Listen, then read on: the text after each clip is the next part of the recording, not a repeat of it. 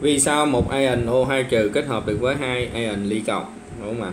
Rồi lý do là vì sao vậy? Tại vì chúng sẽ tạo được một cái phân tử trung hòa về điện lợi 2 o. Đúng không ạ? Là Y cộng nè O nè O2 trừ đúng không? Là Y cộng được không? Rồi à, lúc này có tổng điện tích âm bằng tổng điện tích dương.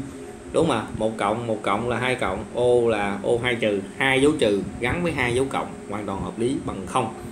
Đúng mà lợi lúc này á là y bình thường này lợi lúc này sẽ biến thành là y cộng đúng không ạ?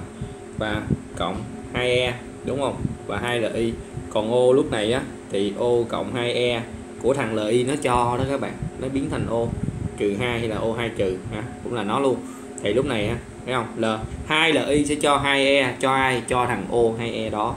Thì hình thành nên uh, phân tử trung hòa và điện lợi 2O và vậy thôi.